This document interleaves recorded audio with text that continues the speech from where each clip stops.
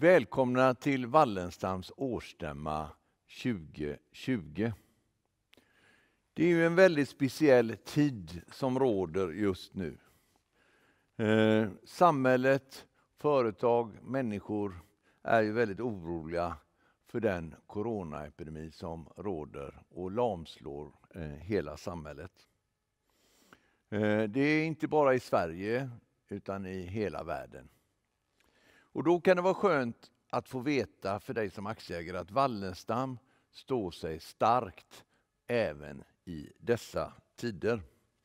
Och jag kommer nu presentera eh, händelser och resultat eh, för det gångna året 2019 i en liten presentationsfilm. Istället för att som vanligt stå på årsstämman och berätta så försöker vi ju göra detta eh, så bra som möjligt eh, för information, inte minst till dig som aktieägare. Eh, först vill jag börja med att hedra och eh, uppmärksamma min styrelseordförande Christer Villard som så tragiskt gick bort i september 2019. Han har varit styrelseordförande i 15 år och han hade dessutom varit styrelseledamot tio år tidigare. Eh, han gjorde en fantastisk uppgift genom alla år för Wallenstam och hade verkligen Wallenstam i hans hjärta. Han är dessutom en väldigt nära vän till mig. Så det tog mig svårt när han lämnade jordelivet. I slutet av året, närmare bestämt eh, när vi firade 75 år, Eh, så lanserade vi en ny logotyp eh, som känns väldigt modern och framåtriktad. Fast jag vill slå ett slag för att myran är med, så den fångar även historien. Men också med sitt designade eh, uttryck så känns den som den ligger verkligen i tiden och jag måste säga att jag tycker jättemycket om den nya logotypen. Vi har gjort några fastighetsaffärer under året och den jag särskilt vill lyfta fram det är eh, eh den som ligger på Östra Hamngatan, nämligen Arket eh, som vi sålde här under 2019 som var en fyrvåning, eh, är en fyrvåningsbutik som ligger mitt i stan. Eh, det kändes att den var färdigförädlad för våran del och att det kändes rätt timing att sälja den. Jag kan också berätta att vi har sålt vår sista fastighet eh, som vi hade i Helsingborg eh, och numera har vi helt avslutat våran närvaro i Helsingborg. För denna gången, man ska aldrig säga aldrig, men för denna gången. Och nu riktar vi in oss på Göteborg, Stockholm och Uppsala. Det är våra regioner. Eh, när det gäller Svensk Naturenergi så eh, har vi under året överlåtit alla våra kunder, alltså de som köper el av oss, all den verksamheten kring detta har vi överlåtit och samarbetar nu med Jämtkraft. Eh, Jämtkraft har då tagit över hela administrationen och försäljningen av el eh, i och med överlåtelsen av Svensk Naturenergi. Eh, Däremot vill jag säga så här att vi har, behåller våra 66 vindkraftverk så vi producerar el precis på samma sätt. Eh, detta gör ju att vi är självförsörjande på energi och kommer så vara. Och det känns också väldigt bra att vi genererar fortsatt vår egen energi som vi förbrukar. Vi har under året också startat eh, vårt största stadsutvecklingsprojekt i Wallenstams historia. Där vi ska bygga närmare eh, 2000 lägenheter i Kallebäcks terrasser eh, i Kallebäck eh, i Göteborg. Förutom bostäder så kommer vi bygga små närbutiker och så vidare, kontor, arbetsplatser. Eh, vi skapar helt enkelt en fungerande eh, och trevlig stadsdel. Eh, och det känns väldigt roligt att äntligen få starta denna. Vi har under året också lanserat eh, vår kö för bostadssökande i Göteborg.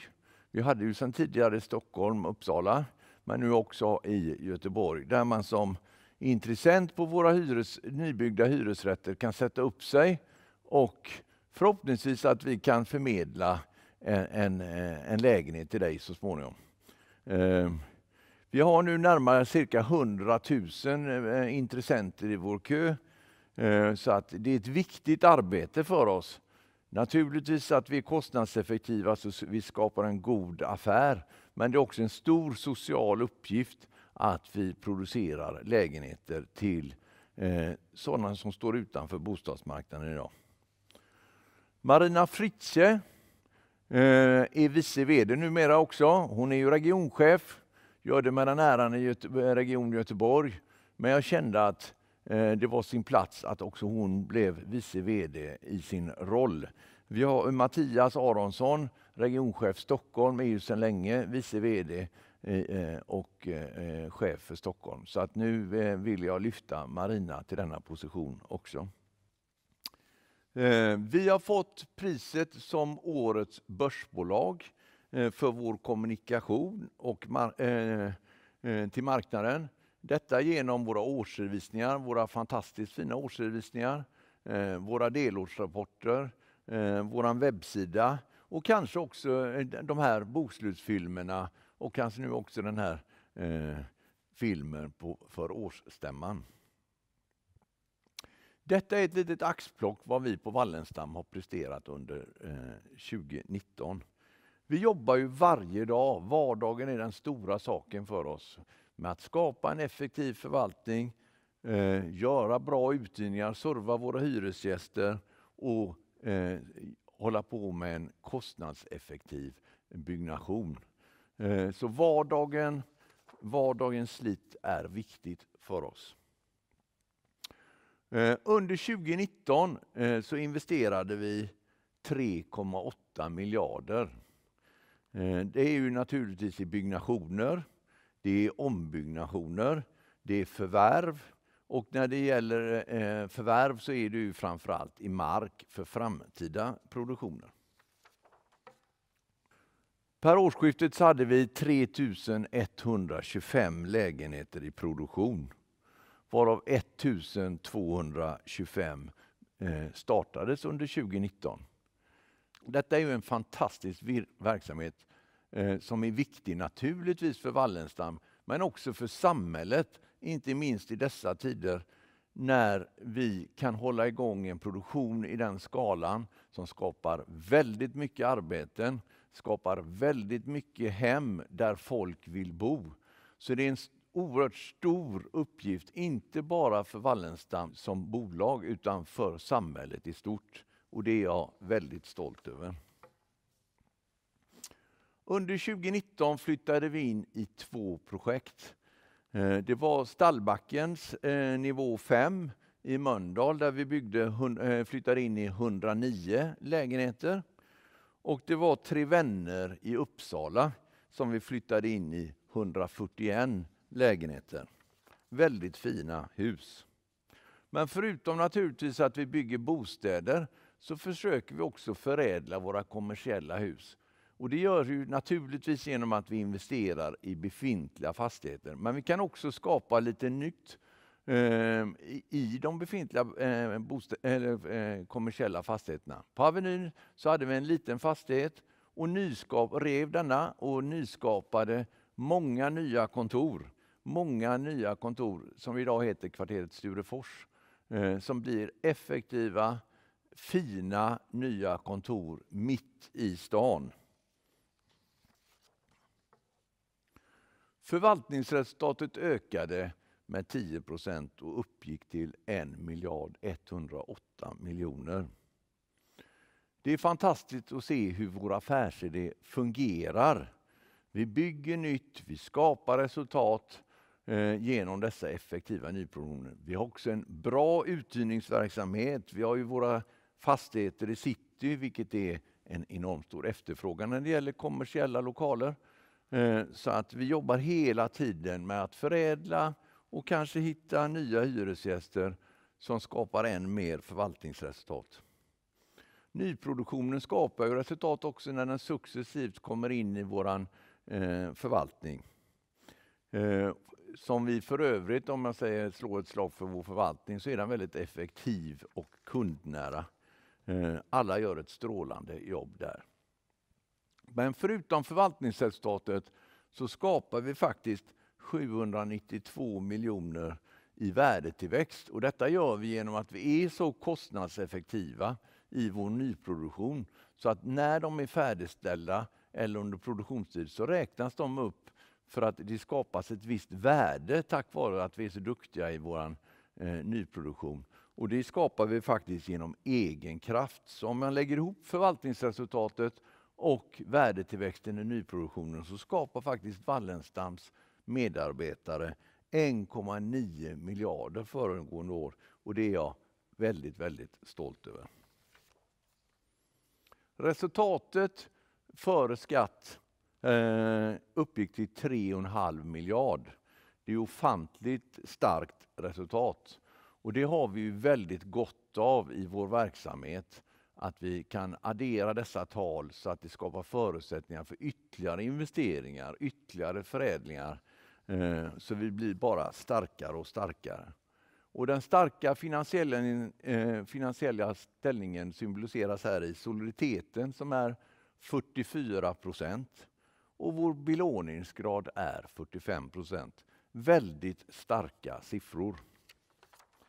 Och just så starka finansiella siffror är ju väldigt skönt och bra nu när vi går in i de tiderna som vi befinner oss just nu. Om jag nu går över till målet som vi satte för 2023 eh, så är, var ju det 40 kronor i substansökning per aktie. Under föregående år så skapade Wallenstam Eh, 9 kronor. Så sammanlagt så har vi då skapat 12 och 10 på denna resa emot 40 kronor i substansvärdesökning till eh, 2023. Det känns väldigt gott att den inslagna vägen följs. Om vi nu eh, går tillbaka till aktien som ändå substansvärdet relaterar till i viss mån Eh, så har den stigit under 2019 med 31 kronor. Alltså närmare 40 procent. Wallenstam har haft under många, många, många år en inte speciellt dramatisk ökning, men en sakta, sakta tillväxt i aktiekursen. Och det är det som jag känner, det känns också väldigt stabilt. Eh, vår utdelning har ju styrelsen lämnat förslag på årsstämman, eh, ska nu bestämma att vi eh, pausar. Och det känns också rätt mot bakgrund av de tiderna som vi är i nu. Att eh, företaget behöver alla resurser eh, så att vi står oss än starkare. Både naturligtvis i den orostid som är nu, men också att det kanske kan skapas möjligheter till eh, affärsmöjligheter i tiden som kommer nu. Eh, det får vi så småningom se. Eh, självklart kommer vi tillbaka under hösten om förutsättningarna ser annorlunda ut och då kan ha en extra bolagsstämma eh, där vi i så fall bestämmer om någon utdelning. Annars ber jag att få komma tillbaka på årsstämman 2021. Ulrika Messing fick snabbt hoppa in som styrelseordförande när eh, Christer gick bort.